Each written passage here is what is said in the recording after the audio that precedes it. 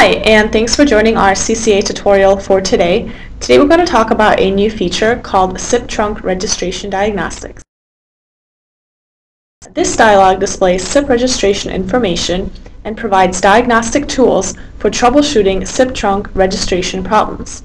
When SIP trunk registration fails, the voice system is down and users are not able to make and or receive calls over the trunk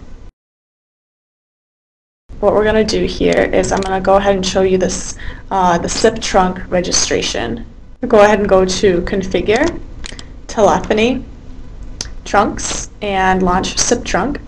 And as you can see from my display, I have my service provider configured with CBeyond. Beneath that, you can see my configurations with the proxy server, registrar server, my username and password, and the SIP domain and DNS server address. We're going to go ahead and launch the SIP trunk registration diagnostics under Troubleshoot, Telephony Diagnostics, and SIP trunk registration.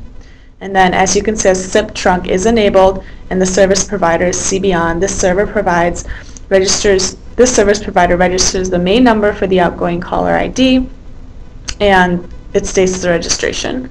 From here, there are a few troubleshooting options. The first one is ping register and this checks the connectivity with the SIP registrar server that is configured in the SIP trunk dialog. So the next thing you can do is you can also ping the proxy, which checks the connectivity with the outbound SIP proxy server configured in the SIP trunk dialog.